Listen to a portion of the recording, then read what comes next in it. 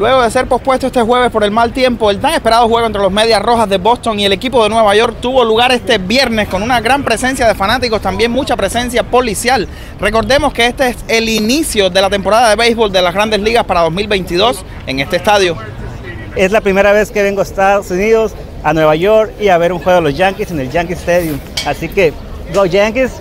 ¿Qué sientes de estar acá para este juego? Ah, emocionado, tranquilo. Si tú te fijas, la mayoría de azules Yankees, la mayoría, pero me da igual, lo importante es disfrutar del juego.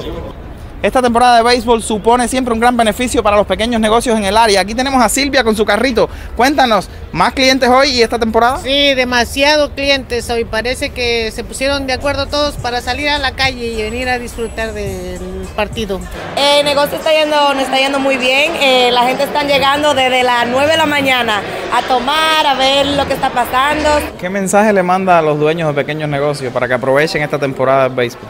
Estén preparados organízanse con mucha mercancía, aunque sabemos que no hay, y hagan especiales, pongan flyers en su ventana, aprovechen esta época, este tiempo que tenemos ahora con los Yankees. Día bien bonito, me imagino que están saliendo de, trabajo temprano y están yendo a las barras, están yendo a los negocios para, para, para ver el juego. Eh, es algo que es bien importante para cada uno de nosotros y más importante, está trayendo trabajo a nuestro, a, a nuestro, nuestro condado.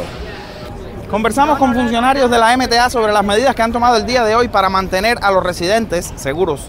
Estamos trabajando mano a mano con el Departamento de Policías en NYPD para asegurarnos que haya más presencias de oficiales en las estaciones, en la 125, allá en la 161, tanto como en la 153 para Metro North. Recuerden que tanto en los, en los autobuses y trenes y en el sistema de Metro North hay mejores tarifas ahora mismo. Este es el primer juego después de la pandemia en el que los fanáticos han podido disfrutar de un partido sin ninguna limitación, incluso sin pedir prueba de vacuna. Reportando desde el Bronx, Peter Ortega, Noticias Univisión 41.